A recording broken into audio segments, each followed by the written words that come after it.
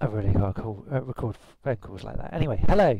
Um, today I'm going to be talking to you about helium pumps. Uh, helium pumps are, well, interesting. They're a bit like air pumps, but uh, they're not, quite obviously, because they've got helium in them. Anyway, so, first things first. Uh, I'm actually going to demonstrate it rather than anything else. Um, I'm going to build myself a box, a nice box out of light alloy as the weight of light alloy, interestingly enough, is lighter than wood, and helium likes to float. So, first things first, let's get out of that mode.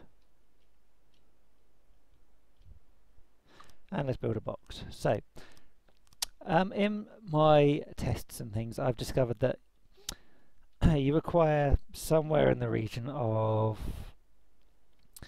10 times the space to the weight to make a helium pump worth having. So we can see this has hit, hit a mass of 1, so we need a space inside of approximately uh, 10 by 10, so 100 blocks. Okay, So let's just go across, let's build a, build a, a largish rectangle. 3, 4. Okay, so let's go over here. Same again. Oh, crap. Okay. Right, that's that done. And let's stick these on here. One, two, uh, two. One, two. And I really should have mirrored this. But, you know, in true style I didn't. So, that one up, up, uh, da da da da.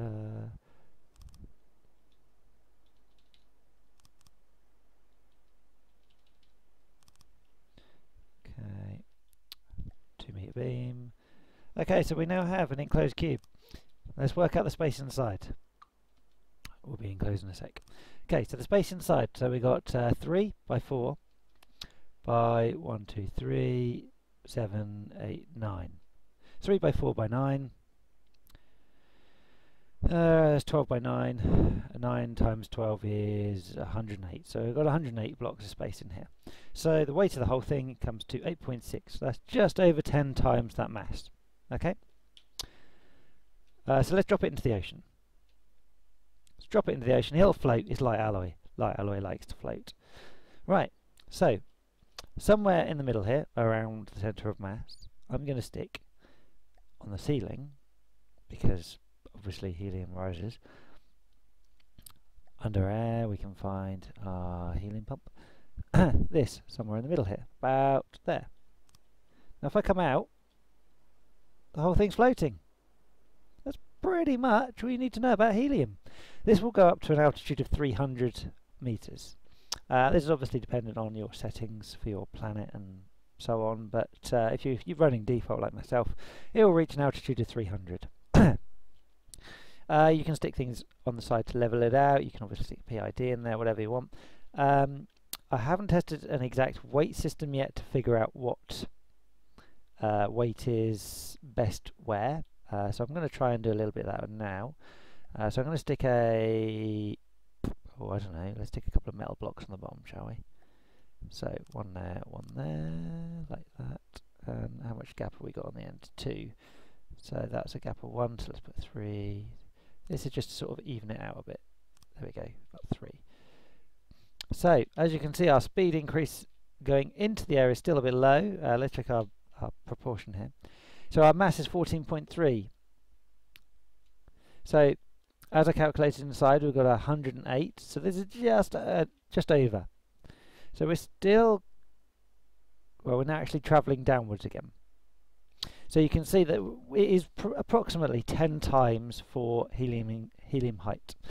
But um, by putting those on the bottom in, in an even fashion, similar to how I've done it, even though it's not perfectly even as you can see weight-wise, um, it's actually leveled it out. It's put the bottom to the bottom, um, which if we zoom right in, you can see that we've got the anchor, mass anchor point right at the bottom of the unit. So we can see roughly where it is. And this will probably go all the way down to the ground. Or water in this case. Uh, which makes the helium pump kind of pointless.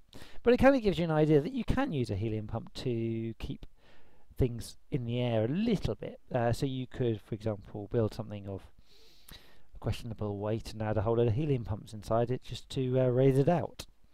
Now, helium pumps um, work in the same way as air pumps for space, so they require the same volume uh, area. So you, it's pointless if you're having two of these because if you put a second one in, it does nothing, as you can see. Um, it just literally changes it to one cubic meter less. So that makes no odds. Um, I haven't tested it alongside a water pump, air pump rather. Um, so let's stick that in. But I believe that works in a very similar fashion. The fact it's not submerged, the uh, helium pump's actually taken over. Now, if you're trying to raise it out of the water by um, clearing water out, I don't believe a helium pump will help you. I'm going to load a, a largish vehicle of mine, which is not light. Um, it's a very boring base boat. It's got literally nothing in it. So, inside here we have well, water. As you can see I've got air pumps. Obviously only one's working. So let's stick a helium pump in here. Helium pump, there we go. So we stick a helium pump there, you can see it is literally not doing anything at all. So if I remove our air pumps now, the helium pump is still doing nothing. So as you can see that it doesn't provide anything if it's not actually in air. So it needs to be in air. So let's get rid of that one. Or have I got more on this end? More on this end. Let's clear those out. One, two. So as you can see the helium pump doesn't need to be in air, but it doesn't provide anywhere near the flotation an air pump provides. So if your vehicle is a water-borne vehicle, then you're going to have problems just using helium pumps. Let's just see.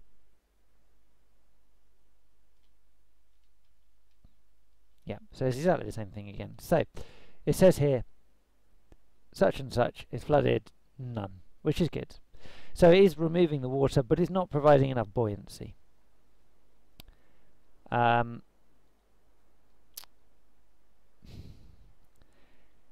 you're better off using one of those to increase uh, the height of a vehicle by utilizing a large area, let's say on top of a vehicle.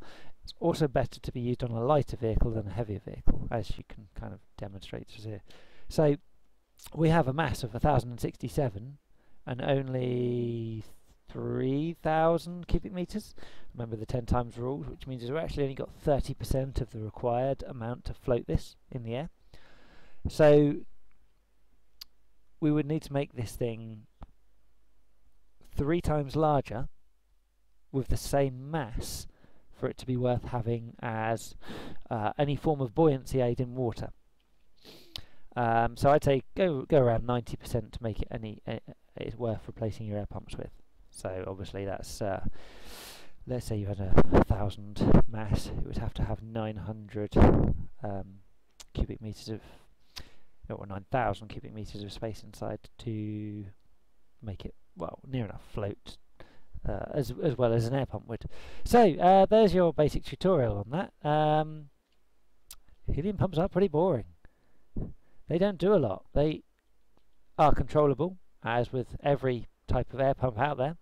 100% running by by default, put it down to zero. So you could potentially use this in a really light vehicle floating in the air to control its height. Remember PIDs do have the ability to control height. Demonstration coming up. PID, there you go. So as you can see, you can set air pump altitude. So this air pump altitude will affect everything. So let's put that on there, test stimulation one. There we go. So you can see that's that's basically doing everything it possibly can to get it out of the water. It's never going to happen. But um, yeah, so you can use the air pump altitude feature uh, for helium pumps to determine what altitude to run at. Um, you can set up a contro complex controller to make adjustments. I don't really use it very often myself, but obviously that can affect the test stimulus. Handy. Um, yeah, there's not a lot to helium pumps really. Um, hope this has been useful. Um, thanks for watching. If you've got any more suggestions, please put them in the description. Uh, in the description, the comments. Um, if you'd rather I structured my videos in a more formal manner, so for example, stats, uh, the build, the the information, please let me know as well. I I would appreciate anything to improve the videos for you to watch. Uh, thanks.